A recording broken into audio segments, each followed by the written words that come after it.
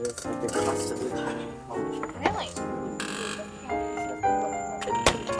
You know you should really recycle that. Why do you believe in the trash fairy or something? The trash fairy does not exist. Recycle instead.